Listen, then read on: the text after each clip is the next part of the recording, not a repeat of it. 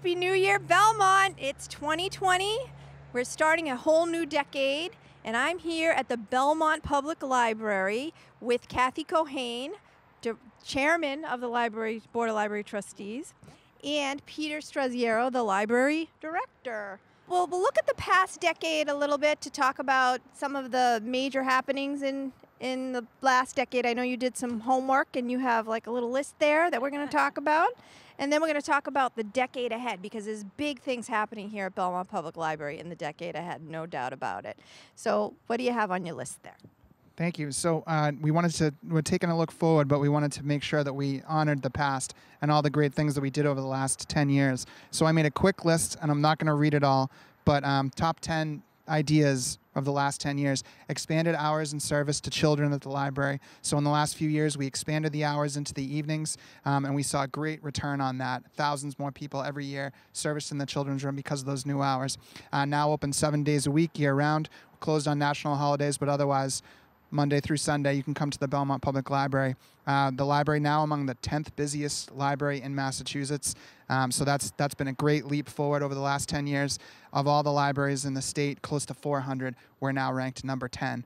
Um, uh, completed a successful feasibility study and a successful schematic and design program for a new library in the future here on site um, ch- a changing of the guard. So we had a great library team in place, and in the last 10 years, a lot of those people moved on and retired, and a new team, new trustees, a new library director, new staff uh, picked up the torch and has carried it forward.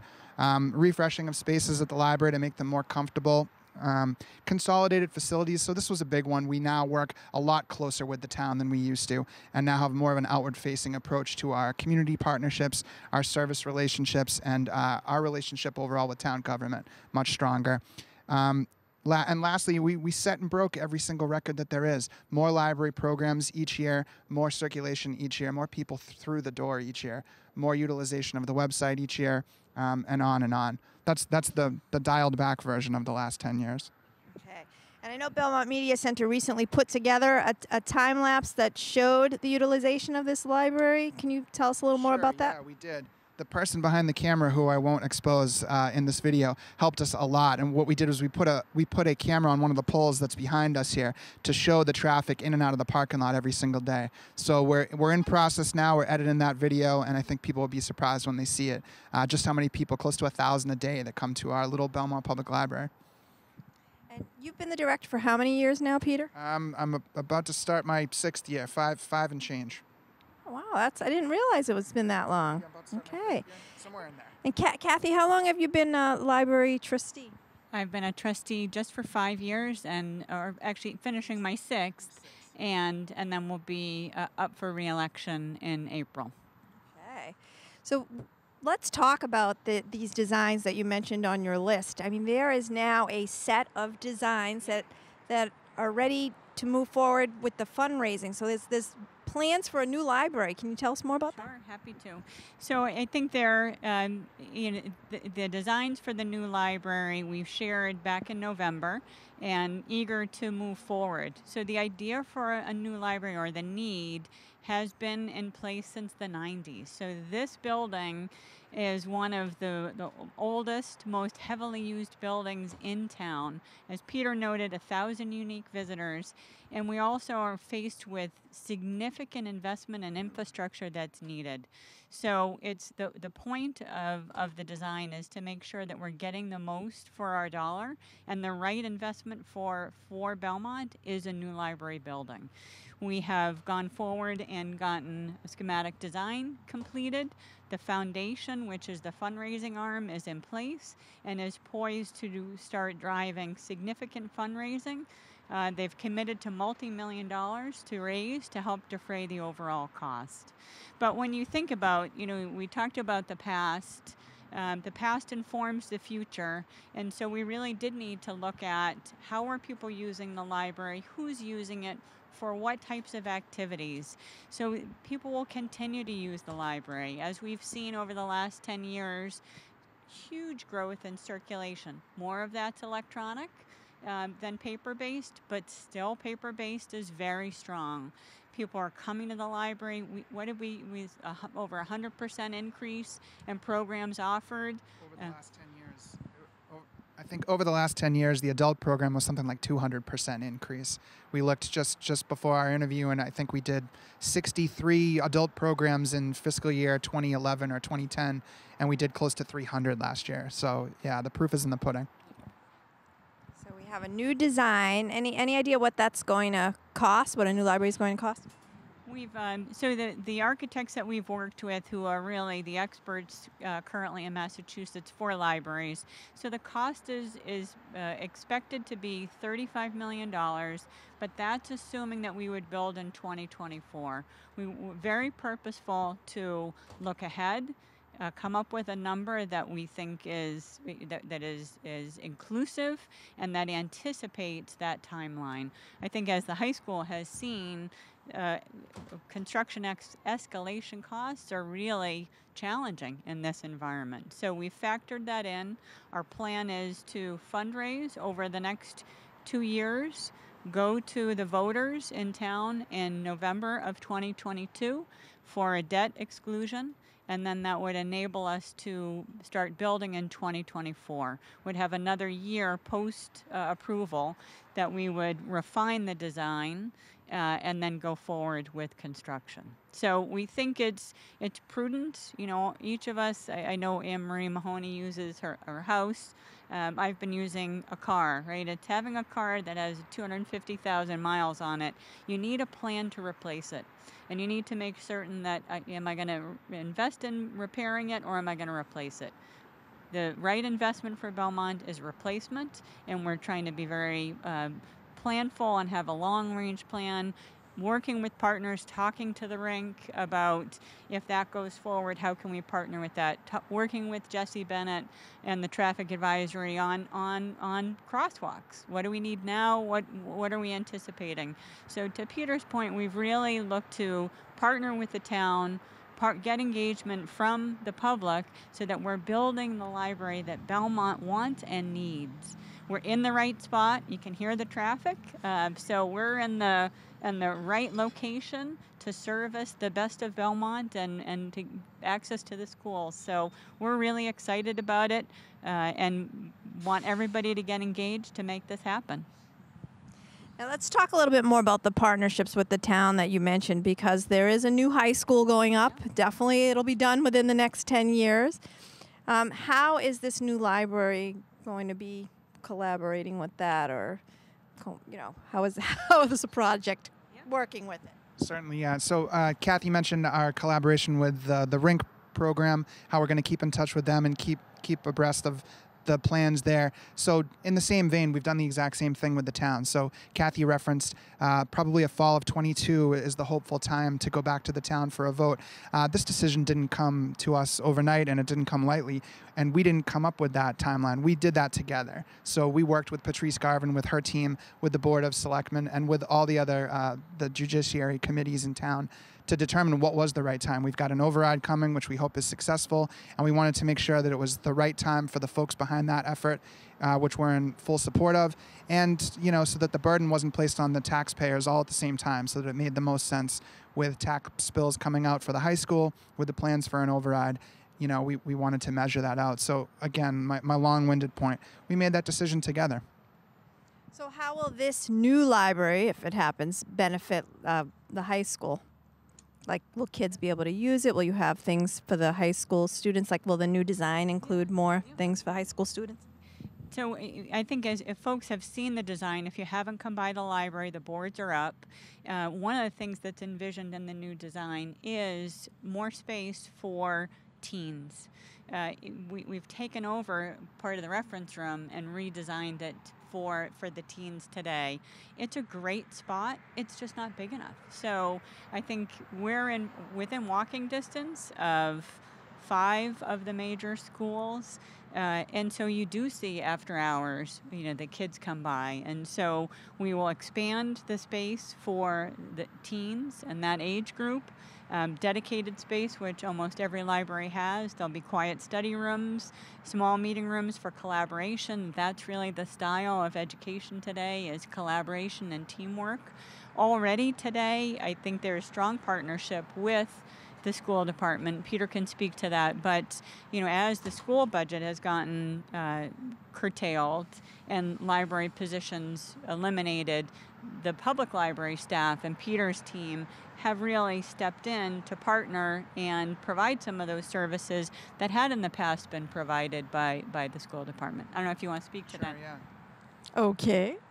Uh, j- uh, just a bridge to that. So, of course, we have a great relationship with the school department, but the relationship goes beyond that. You know, your listeners will know that there's no community center in this town, there's no recreation center in this town. So, Re- uh, correct, yeah, which is you know primarily used by seniors but open for all ages. But there's no the rec department has to look for places to hold their events. You know, so we partner closely with John Marshall and with his team in the rec department, as well as John Phelan in the school department, um, because when you really look around at the resources in town, this is your community center. This this is what's available, and our our new library will continue to be that community center. Well, I know that the current library has needs, and you are still putting some money into it because you can't wait on some of these needs necessarily. But it's almost like I feel bad. It's almost like throwing money down the drain. Like, what are some of the projects you've had to do recently? Like, I think gutters was one of them. So um, yeah, you know, and we're very prudent uh, when we make those decisions, and it's really ba- it's based on needs, not wants. It's all any any money we put into this building is focused on either health or safety. That's it. Um, so in one case, we we have to work on the gutters because they're falling apart. There's holes in the gutters, and in the wintertime, ice dams up, then drips through the gutters as it melts and creates you know ice pools right on the entry points uh, at the two doors. So things like that. You know, those those are the places where we have to invest money, but it's um, it's a very very minimal amount. You need to add something? I will, I will. But so one of the things, and that's really health and safety has been kind of from the trustees in terms of spending money. But we have, in, in just acknowledging the times, some of the things that we have done in the past and will continue to invest in, we put automatic door locks on. Health and safety issue. We have panic buttons that we've installed. Um, it's just a sign of the times. We need to we need we need to make those investments. Uh, we put in a new boiler. We've put in um, there was no insulation in the ceiling.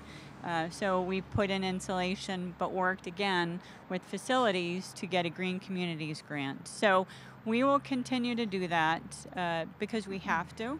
But I think we're optimistic with where we are and the the response we've gotten from the town, uh, which is why, and, and we understand the burden on taxpayers, but people need to understand there will be material investment required whether it's it's rehabbing this building and bringing it up to code and ADA compliance, which would be in excess of $20 million if you ramp up the cost from the feasibility study, versus that which is expected for a new building that will meet the needs of Belmont. So, but I think we, we, we're very measured in terms of what we're spending money on, but do those things that are health and safety. Right. Now, you don't know what the debt exclusion amount is going to be yet. We don't know that yet. No, we don't. So again, the foundation, uh, chaired by David Stevater, is working on what their goal is, and they're expecting that at the end of March, beginning of April, they'll come out and publicize what their goal is for fundraising. So, in the the target is what they've committed multiple millions of dollars to defray the cost. We're also exploring any other options for grants that are out there. Um, there is no, or uh, in terms of the state grants, just to be clear, there is the funding is not there for state grants. And I think as people have found with the high school, when there are programs such as that, uh, and there's money provided, that there are certain requirements that come with it. So if we, in the past, the, the grant round that we had to give the money back for twice, not once, twice, um, it would have been a builder, bigger building than the one that we're proposing. So we've right-sized the building on this location and with strong input from the community and, and trying to balance the needs of the community, but there will be expenses. So I, I think it's really the right decision is a new building. The foundation will come out with, with, with their target uh, and, and you know, any donation, small or large, is going to help us and, and help us move towards that goal. Uh, did you say there will be an opportunity to go for a grant again?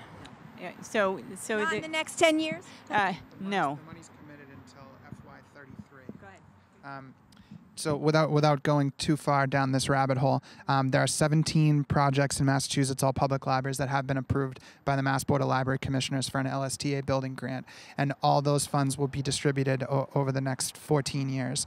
And it's believed that if uh, the bond isn't raised by the state to allow more millions to be spent per year that it will be it will be 2033 before those projects are completed. So if if a lot of ifs if that were all to stay that way they may have another grant round it may be in 2029 and then those projects that would be approved may be approved after FY 33 or 34 and that would go out for 10 or 15 years. So if if if, if then Belmont would be maybe on a list you know in the 2040s you know sometime from now I want to talk about what you're up against with this debt exclusion because you're definitely going to be there's going to be some opposition no doubt. And people might say well you know do you really need a library because everything's going paperless now? Right? People might say um, you know it's not just belmont people using the library so why should belmont taxpayers pay for it? This is what i've been hearing this is what i'm repeating. So how are you i mean how are you going to face these obstacles and how are you feeling about this, Kathy? Uh, I'm actually feeling optimistic. I, I, you know, I'm a taxpayer too. I, I see what happens to my tax bill, uh, but again, um, the library. So I think you know, which is why we felt it was important to cover where we've been, because people are continuing to use the library. They use it differently, and so so there is very much a need for a library. And yes, there are libraries in Watertown and in, in other communities and part of the Minuteman Network. We can participate in those libraries because we're part of the Minuteman Network. If we didn't have a library in Belmont, we would not have that same flexibility that, that, we, uh, that we enjoy today. So yes, I think there, you know, we as a community are paying for the deferred maintenance and the lack of investment um, by um, leadership teams in the past. And so, yep, it, it, it, it's a challenge, which is why we want to fundraise as much as we can. And, you know, it could be that the impact of the debt override is a cup of coffee a week. And if you were to ask me as a taxpayer, uh, you know, a, a cup of coffee a week, two cups of coffee a week, is, is that worth it for a new library, a 21st, 22nd century library? Absolutely it is. But I have to ask, Starbucks or Dunkin'? okay, we won't get into that. Um, but in all seriousness, you are running again. You are running again in the upcoming town election for library trustee again. Why? Why do you want to be library trustee? Why is that important to you? I mean, you could say, I'm retired. I don't need this aggravation, right? Um, I, you may have spoken to my husband, but um, no, I think because to me, the library, when you think about the programs and services, we serve people from from birth to grave.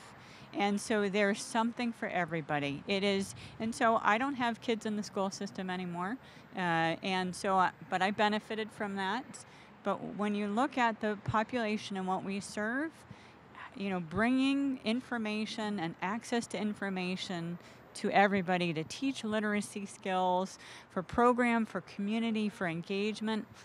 It's just it's a it's a wonderful magical place and i would say to anybody who hasn't been to the library um, in a while come and see what we have to offer and think about what it could be. Some of what we want to do we're constrained in this current building.